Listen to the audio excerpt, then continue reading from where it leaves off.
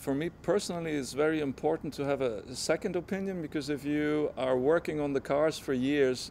and developing them and testing them on the Nürburgring and other racetracks and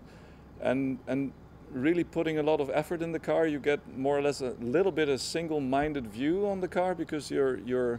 a unity with this car during the development phase. And to have a second opinion from the outside from a professional race driver is, is really important, sometimes mind-opening and in this case it was a, a good um, reflection on, on what the, uh, the R&D people did on that car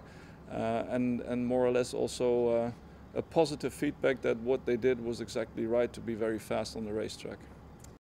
Well, for the DTM drivers, it was a big uh, step because they come from the race cars, uh, the very light, light race cars into an SUV, and of course, their first idea was,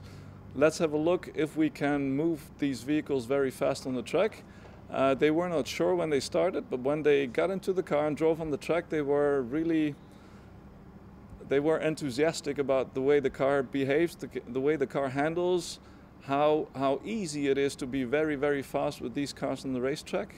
Um, and they have a very good feel uh, for the vehicle dynamics and the way the vehicles can be moved and it is just fun to watch them drive and even more fun to drive with them.